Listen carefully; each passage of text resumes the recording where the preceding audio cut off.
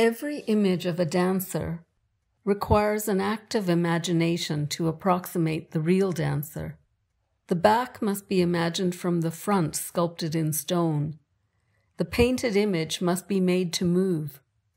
Girl Made of Gold is set in a time when the dancing body, in most cases, is a Devadasi's, and even now we can sense the camera's erotic fascination with her. When the image is of a young girl, we must confront what lies behind that too mature and knowing gaze.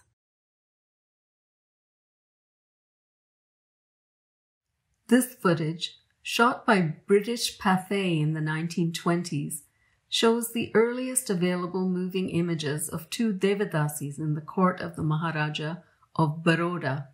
They are dancing the Alaripu, which remains part of the repertoire of Bharatanatyam on stage today. But in the interim, almost everything else has changed. The quality of movement, the costumes, the musical instruments for accompaniment, the place of the musicians on stage. Before film had established itself as an art form, it simply took what it wanted from the theater and dance of the time. The Devadasi here performs a popular padam in just the manner she might have performed it had the camera not been there. Real life Devadasi and filmic persona of Devadasi merge in T.R. Rajakumari, the first dream girl of Tamil cinema.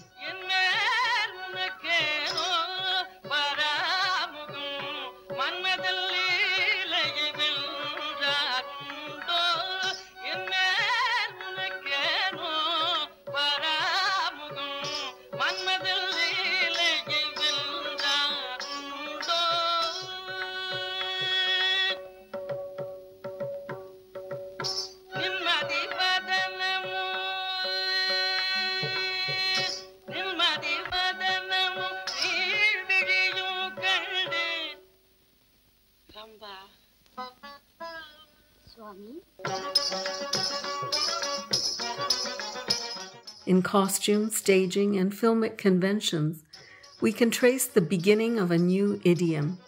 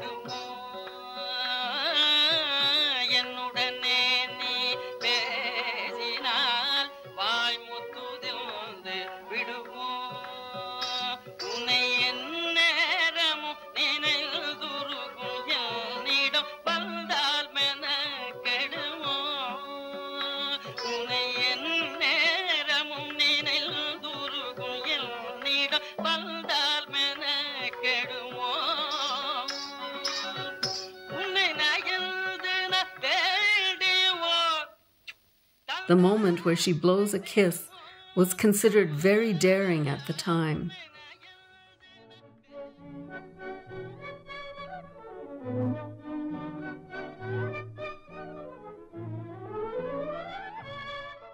T.R. Rajakumari moved beyond her Devadasi dance training.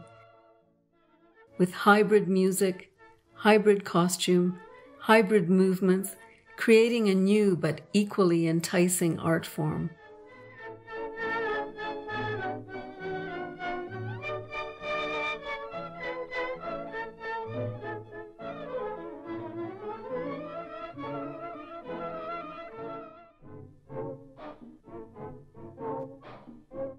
The finale uses 400 dancers and took months to rehearse and shoot, with movements drawn from Kathakali and the Kandian dance of Sri Lanka.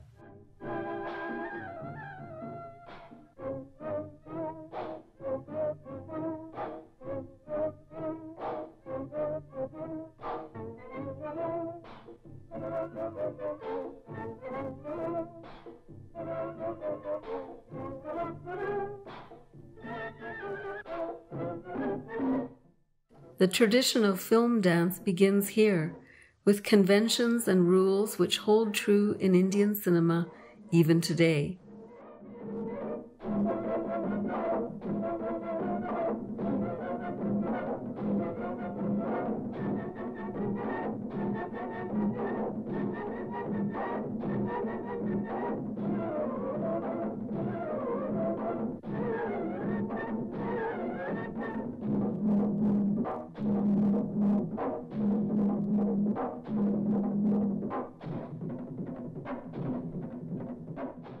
These are the images that inspired me to imagine Kanaka's journey from the confines of temple and tradition.